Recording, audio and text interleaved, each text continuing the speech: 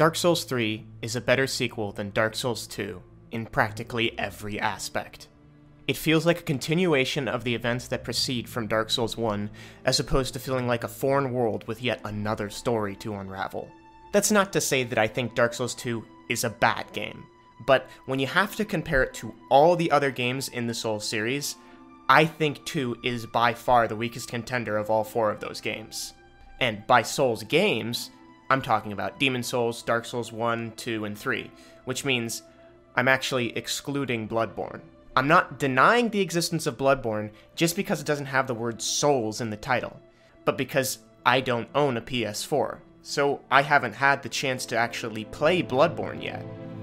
Because of that, you might find my judgment of 3 to be a little different in comparison to someone who has played Bloodborne.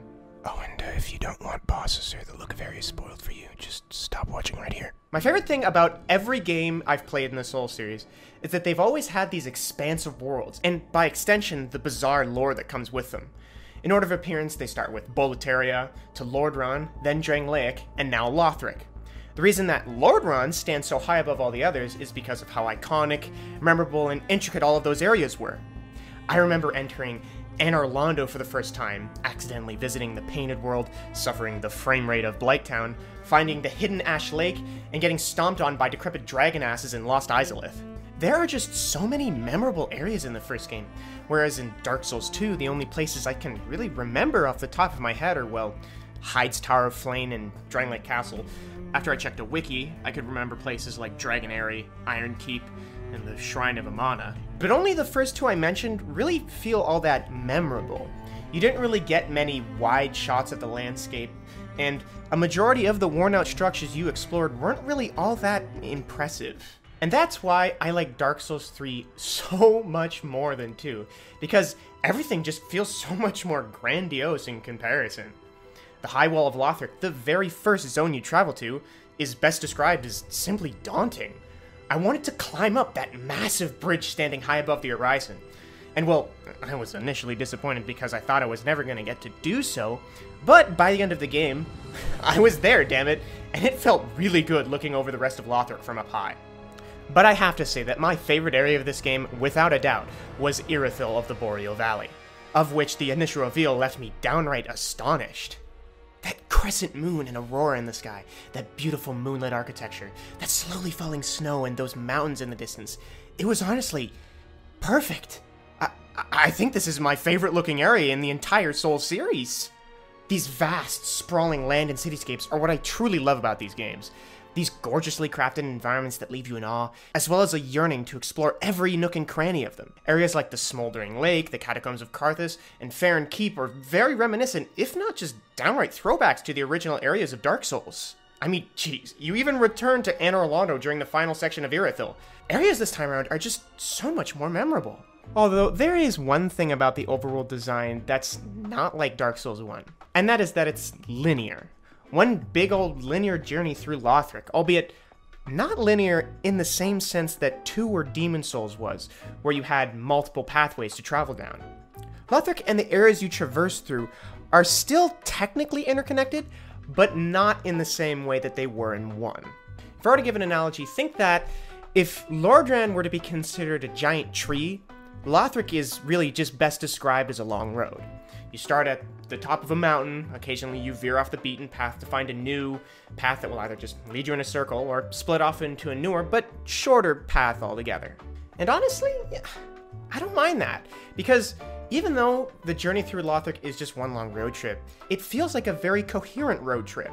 Whenever you travel somewhere, you feel like the distance you covered getting to that place is actually tangible.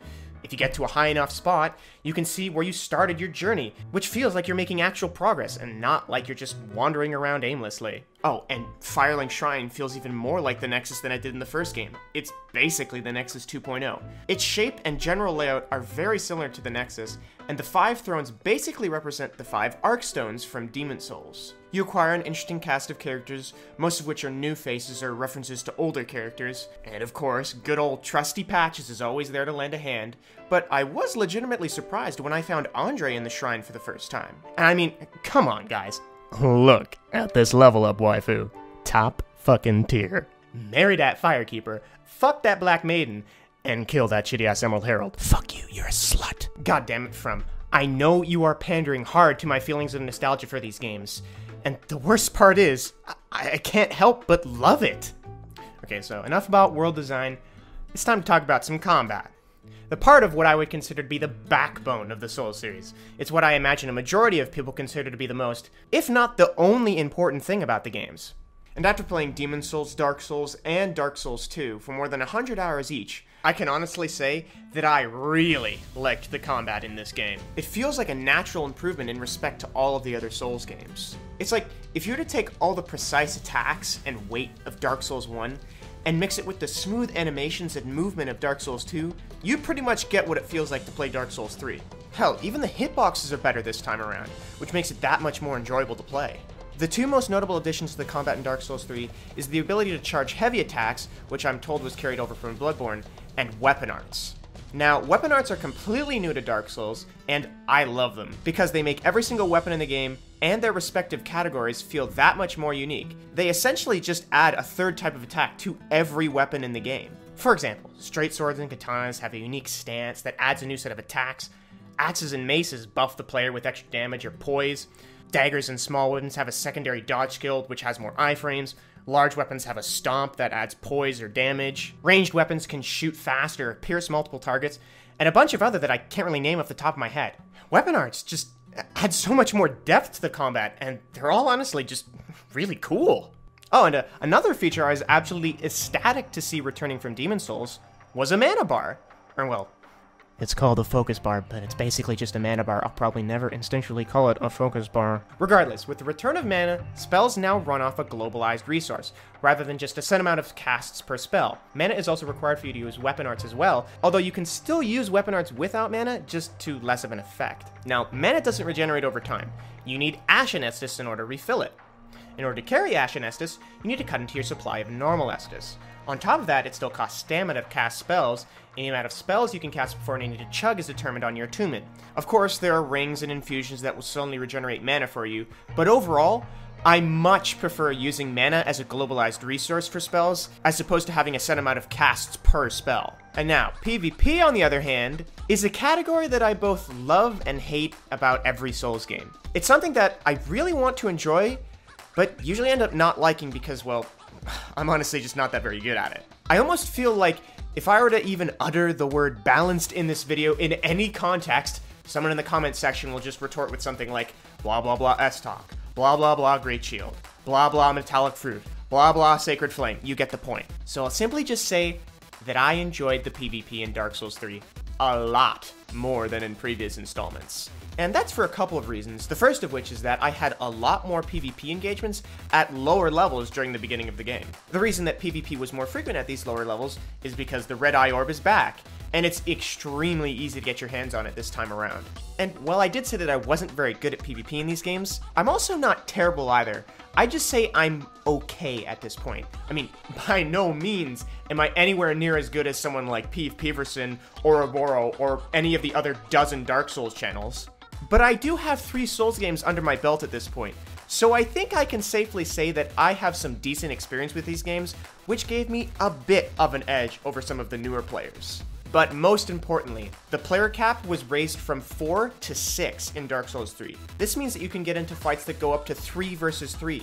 And these fights are some of the most fun and hectic invasions I've ever taken part in. They were just an absolute blast to play. There's also a downside to having an increased player cap, and that is because very rarely do you end up in a fair fight during an invasion in Dark Souls 3. Almost every time I invaded someone at a lower level, it was just me versus four other guys.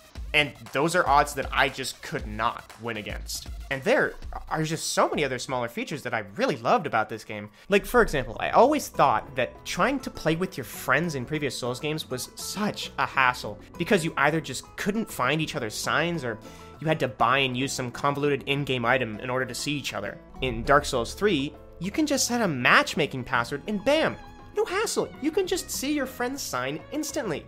It's just so much more convenient and makes playing with your friends way easier and far less annoying. Oh, and thank Allah that soul memory is gone, because while there were benefits to that system, it made PvP into an absolute disaster to manage. In 3, matchmaking runs off of your soul level and the reinforcement level of your most upgraded weapon. And because of that, matchmaking doesn't need to scale off your armor because you don't need to upgrade armor anymore. I, I love this because I can just wear whatever I want whenever I want. I can play Fashion Souls with any armor I find and never have to worry about upgrading it. Hell, every Covenant feels like it has a viable purpose this time around.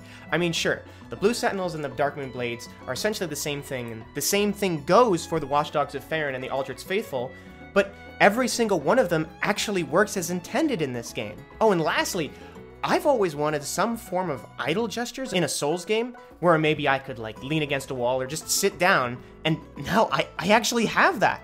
There are just so many of these little tweaks, additions, and, and, features I've been wanting for so long, and it's just so great to see them finally realized in a Souls game. So, yeah, there are tons of things about this game that I really enjoyed.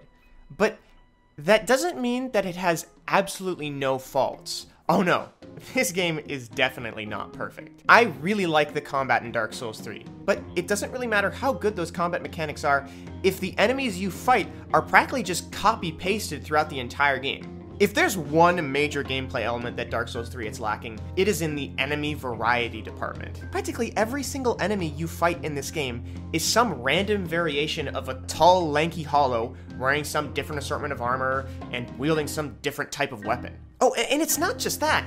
I feel like I was fighting these little thief faggots, like, for half of the game. I almost felt at times like there was at least one in every area. The Cathedral of the Deep has more walking corpses in it than Auschwitz did. You just fight so many goddamn hollows in this game.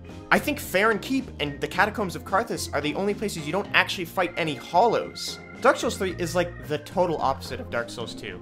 In 2, every area has a bunch of really cool and interesting enemies to fight, but an absolutely piss easy and uninspiring boss. Dark Souls 3, on the other hand, has a bunch of really bland, copy-pasta enemies placed all around each level, but at the end of which has an extremely unique, memorable, and challenging boss fight. Well, they're all definitely unique. Okay, so here's the thing about bosses in Dark Souls 3. They're easy. They're slower, more telegraphed, and some are just not that fun to fight the Ancient Wyvern, Yorm the Giant, and Highlord Wolnir are definitely cool fights, but require you to use an underwhelming gimmick in order to beat them. And the Deacons of the Deep, it, yeah, no, that's just lazy design. But a majority of the rest of the bosses in this game are actually really good.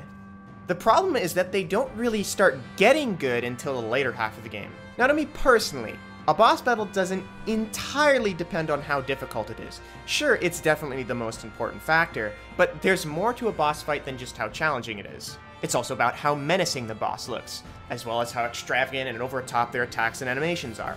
The environment and arena you fight them in also takes a big role as well, and the second most important aspect is without a doubt the music that accompanies the boss fight. If you combine all of those elements correctly, then you have what I would consider to be a fantastic boss battle. Don't get me wrong though, I still enjoyed fighting all the bosses in the early game my first time through, but Irithyll is definitely a turning point in this game in terms of overall boss challenge and quality. Pontiff Sulyvahn was the boss that changed my outlook on this game from, eh, this game's okay, to, wow, this game's pretty good. Practically every boss that you fight after Pontiff encompasses everything that I think makes boss fights great. They all look extremely intimidating, they have tons of ridiculous animations and attacks, you fight them in these iconic set pieces, they're all accompanied by a striking musical score, and most importantly, they are hard as hell to beat. In fact, think Dark Souls 3 has got some of the most spectacular boss fights I've ever seen in a Souls game. And it's a shame because while this game has some of the best bosses I think I've ever fought, there really aren't that many of them. Both that and the amount of areas that you visit in the game make it probably one of the shortest games in the Souls series. Dark Souls 2 may have had double the amount of bosses than this game did when you take the DLC into consideration, but only a handful of them, most of whom were DLC bosses, were even all that great. It's why I always stand by the statement, quality over quantity. At this point, I feel I may have exhausted my ability to rapidly inhale Miyazaki's Millimeter Peter. So I think it's time to talk more about some of the shitty things in Dark Souls 3. Okay, why the fuck are there so many goddamn bonfires in this game? Like, literally, sometimes I walk for maybe less than 30 seconds and I'll reach another one. They just I put mean- like a mandatory bonfire for every boss killed, but then they'll put like another bonfire like 20 steps away. when I was on my first playthrough, whenever I wished there was a bonfire somewhere nearby, it, it, it just wasn't there. But whenever I didn't need a new bonfire location, there was one within walking distance of the last one. The bonfire placement in this game is just all over the place, and it's absolutely unneeded and fucking stupid at times. Oh, and also, I, I may think that this game has great feeling combat, but why the fuck is poise turned off? Why does it even show in the stats screen when it doesn't even matter how much poise you have if you just get staggered from one hit from any attack? I, I really hope that they add it back in either a DLC or, or say something along the lines of, really? Oh, that's, that's that's just great. oh, and it's great that the red eye orb is back, but what about the blue eye orb? Why isn't that back? How the fuck are blues supposed to get summoned in the late game when everyone switches their covenant off of the way of the blue? And hey, every boss may be unique and interesting, but why the fuck aren't there any tails to cut off? Like, literally, I don't think a single boss has a removable tail. Like, a good chunk of the bosses that I fought in 1, and a few of the bosses in 2 had removable tails, but not in 3. And, oh man, the day one launch for this game on PC was absolute garbage. Never in my entire life of playing video games has a game ever crashed as much as this piece of shit did. I think the most annoying part is whenever I tried to get a recording of it, my Nvidia display drivers crashed, which in turn caused Shadowplay to crash, so I couldn't get any footage of it, and nor could I move past the fucking first bonfire of the game for almost over an hour! And you wanna know how I fixed it? I turned the lighting to low. How does that even work? It's just, it's surreal. I, I don't think I've ever played a game as unstable as this on launch day. Not only did it crash, but for the first week of play, my audio would just cut out and loop in and out, and in and out, and in and out, every five fucking seconds, or whenever an NPC would talk to me. I mean, I got used to it, but holy fuck, it was so annoying. No! You should have waited! Well, it's too late now. I, Siegward of the Knights of Catarina, fight by your side. Oh my god, Jesus Christ.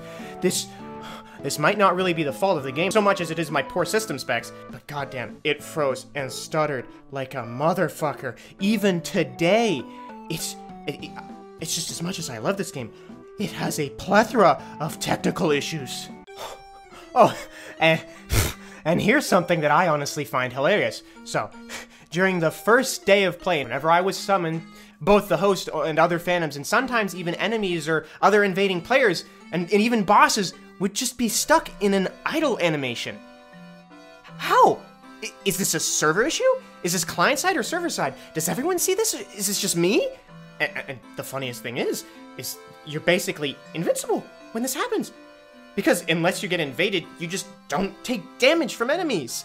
This shit actually breaks the game and makes bosses easier to beat. And this shit was still happening to me two weeks later. I want to love this game. I really want to look at it and say, wow, that was a fantastic game from software. Great job, guys. Great game. But just, I'm so divided. There are a lot of things that I really loved about this game. But I can't just say that and completely deny From Software's absolute incompetence when it comes to releasing their games on PC. They have never even bothered to try and implement any formidable anti cheat system. All it takes for you to hack in Dark Souls is to download a cheat engine table, and bam! You have access to infinite health, infinite stamina, instant transmission, practically dev tier console commands. Although, I'd be a bit of a hypocrite if I scorned people for hacking without admitting to the fact that I myself also did it. Some people get extremely defensive over hacking in video games, but I honestly just find it hilarious. Like, hacking in most cases is generally harmless, it's just a minor inconvenience. And hell, some people can actually produce some really cool shit by hacking and modifying the game files. Though the real problem here doesn't stem from players hacking. Sure, it's shitty that they're doing it, but the only reason it's even possible is because the game doesn't even have a half decent anti cheat system. And you can barely consider the soft banning system to be an anti cheat system because a majority of the time, it doesn't even ban cheaters. You can get soft banned if the game crashes too much, or even just for using the Black Separation Stone too much. The soft banning system is garbage. Although From did just recently patch their game in response to the whole hackers supposedly soft banning player situation, which actually turned out to be nothing since nobody was actually soft banned because of it. But I mean, regardless of whether or not anybody was actually soft banned, the concept of doing it is still pretty shitty and something that I don't condone or would do myself. But that is besides the point here, because what I'm trying to say is just how awful From Software is with its PC releases. Someone had to stream themselves breaking the game for days before From decided to fix an issue that should never have even been prevalent in the final release.